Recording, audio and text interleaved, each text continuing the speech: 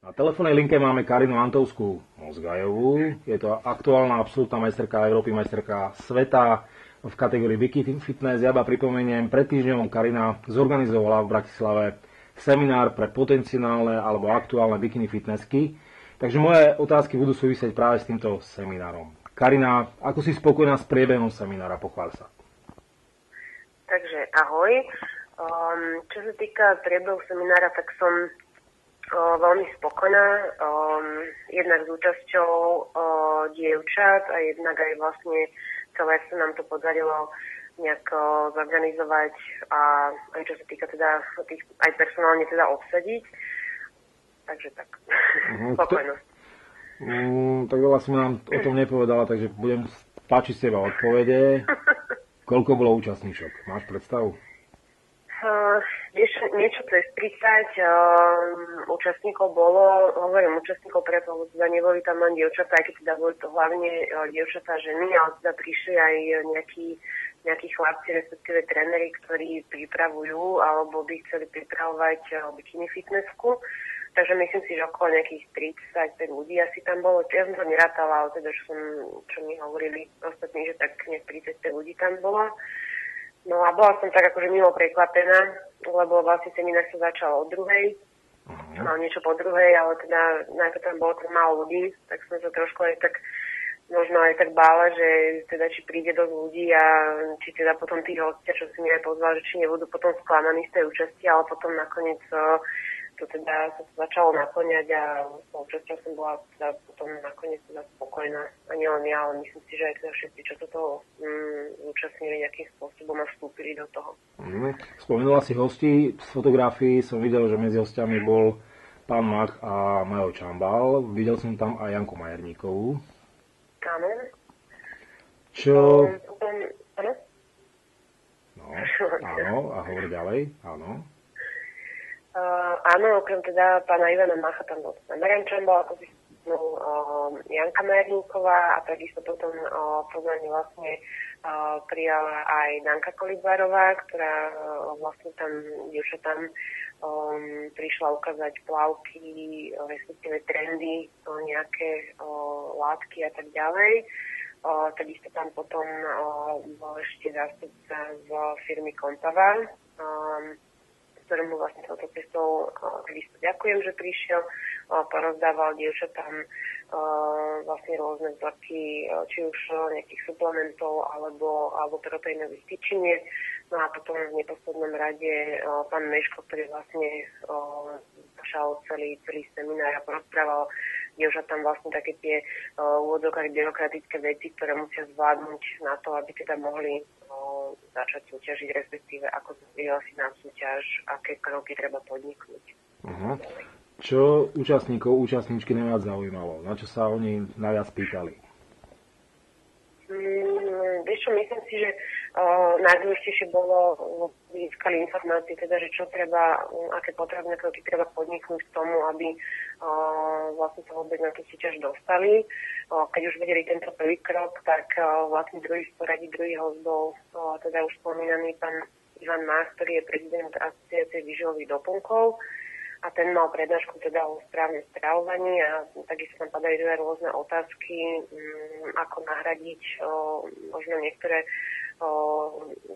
neviem, napríklad, že ako nahradiť rýžu, akým nejakým sacharidom a tak ďalej. Proste akože zaujímali, zaujímalo dievčatá, ako sa správne stravovať a teda hlavne teda v tej, v tej uh, fáze tej diety, v tej poslednej. No a potom samozrejme také tie klasické ženské veci, ako je, ako sú to plavky, mm, topánky, make-up, celková nejaká úprava pokožky, čiže aké farby sú dovolené, aké sa, teda aké my používame. Takže na tieto otázky sme mm, z toho ženského pohľadu teda odpovedala teda s Jankou Nájdníkovou. No a potom vlastne bola tá praktická časť, respektíve workshop, kde sme vlastne s Jankou Nájdníkovou teda predvedli dievčatám pozovanie, takže myslím si, že toto malo taký najväčší úspech, tam sa teda dievčatá tak najviac pýtali, lebo teda je okrem mm, toho cvičenia, toho dietovania podstatná časť prezentácia na pódiu, čo teda dievčatá chápu, takže v rámci tohto má teda dosť veľa otázok a pripomienok. Uh-huh. No, v Bikini Fitness podľa mňa tá prezentácia je rozhodujúca. To znamená, že každá devčina má skvelú formu na tom pódiu, každá vyzerá veľmi dobre na tom pódiu. Len niektoré však tú formu a ten vzhľad dokážu aj v úzovkách predať na tom pódiu. Ty ako skúsená bikini fitnesska, keď si sledovala tie dievčatá, zrejme pozovali aj oni vám, v čom robili najčastejšie chyby? My sme vlastne, ja som tak vymyslela, že sme nasimulovali kvázi celú súťaž, to znamená, že vlastne od eliminácie po semifinále až po finále. Uh-huh. To znamená, že tie dievčatá vlastne si mohli naozaj tak v reále ako keby vyskúšať, ako to na súťaži chodí. Ale takých možno najčastejších, um, ani nie že chýb, ale možno takých malých nedostatkov bola taká strnulosť a uh, prílišné napínanie uh, vlastne um, istých slavých, teda slavých partí, ktoré možno pre, to, pre tie bikini fitnessky nie sú až také podstatné a to bolo napríklad chrbát, že teda niektoré ho možno napínali až tak uh, pri veľmi, že to nepôsobilo veľmi žensky. Takže čo bolo takou, takou, takou mojou snahou, bolo teda tým niečo tam vysvetliť, že jasné, tie svaly tam treba ukázať, ale všetko to musí tak nejak sa zosúľadiť, aby z toho vznikla mm, krásna žena, ktorá teda má svaly, ale aby to celé pôsobilo žensky nejako tak napnuto a príliš silovo. Takže možno v tomto. Uh-huh. Tak keby som to tak zhrnula, že toto bolo možno tak. Takže ja len doplním, uh, bikini fitness nie je body fitness ani, ani uh, women's physics. To znamená, že tie svaly treba tam mať, ale nie sú, nie sú dominantné pri tej prezentácii, tak? Áno, tak. A uh, bolo veľmi vidno uh, napríklad na tých dievčatách, že ktorá už má ako takú skúsenosť, že či už s tancom alebo s gymnastikou, že jednoducho mm, tie pohyby mm, ženy sú také iné, sú také ladnejšie, je to jednoducho vidno aj pri týchto vlastne dievčatách. Súhlas, videl som tam niektoré známe tváre. E, boli tam aj dievčatá, ktoré súťažili na mozolani Classic 3 v Žiline. Máš informácie o tom, že účastníčky, alebo niektoré z účastníčok tohto seminára sa objavia aj na súťažnom pódiu, uh, povedzme v Trenčine alebo na jesenných súťažiach? Uh, áno, ale neviem, neviem tie mená úplne, uh, ale boli medzi tými dievčatami aj teda budúce pretekajky, respektíve pretekajky, ktoré, ktoré sa chcú zúčastniť týchto spomínaných súťaží. Uh-huh. Čiže potom vlastne, keď sa skončil ten seminár, tak potom ešte sme mali také diskusné okienko. Pri káve? pri proteíne? No, tak, pri, pri proteíne. Pri proteíne. Uh, hej, s niektorými dievčatami vlastne, ktorí, ktoré ešte tak nejak úplne detálnejšie chceli akože niektoré veci vedieť, takže Takže viem o tom teda, že niektoré sa aj pripravujú na súťaž, ale nie sú teda narýchlo mena. Uh-huh.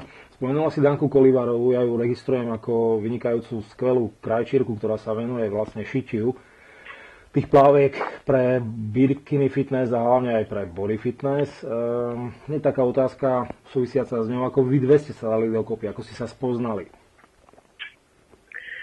Um, vieš čo, no, to bolo...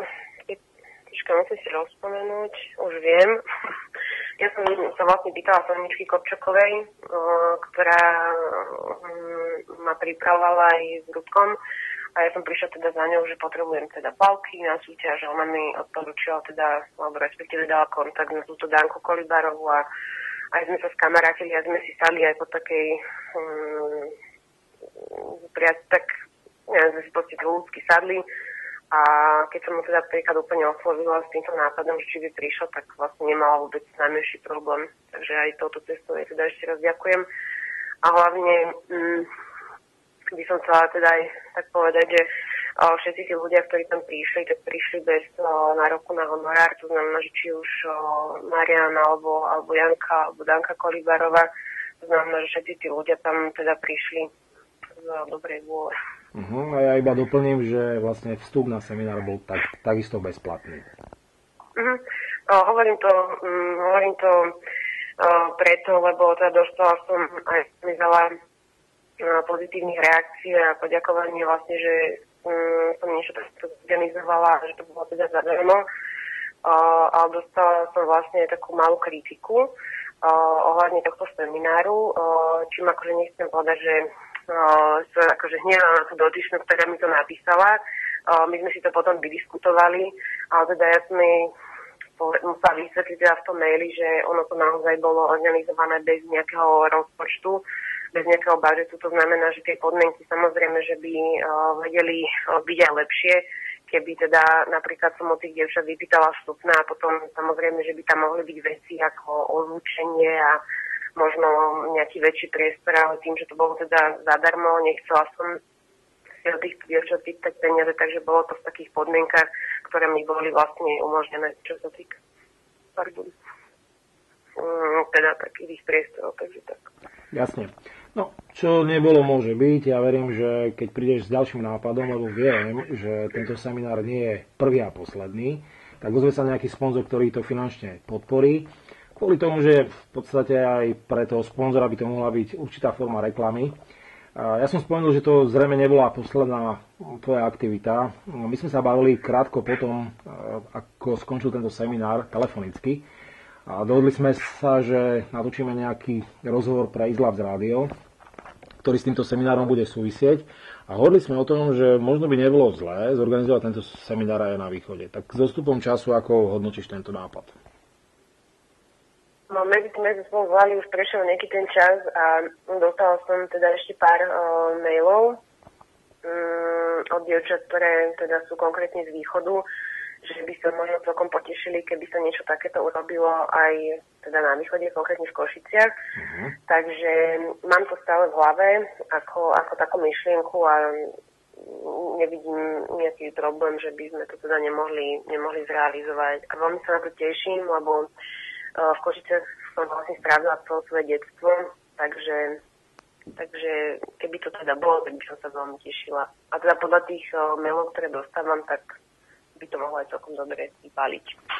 Čo, ja som za, ak budeš potrebovať nejakú podporu alebo nejakú pomoc, tak my ti pomôžeme. Minimálne spropagujeme to na našej webovej stránke, dáme do pozornosti dievčatám, ktoré majú záujem o bikini fitness alebo ktoré už bikini fitness súťažia. Ďakujeme pekne za rozhovor, iba pripomeniem na telefónnej linke som mal stále aktuálnu absolútnu výťazku z majstrovstiev Európy a aktuálnu výťazku z majstrovstiev sveta. Tieto tituly Karina získala v roku 2012-2013, Karinu Mozgajovú Antovskú. No a ja verím, že možno keď nie v budúcom roku, tak v tom nasledujúcom sa stretneme opäť na súťažnom pódiu, ale už to bude kategória body fitness. Stále to platí. Stále to platí.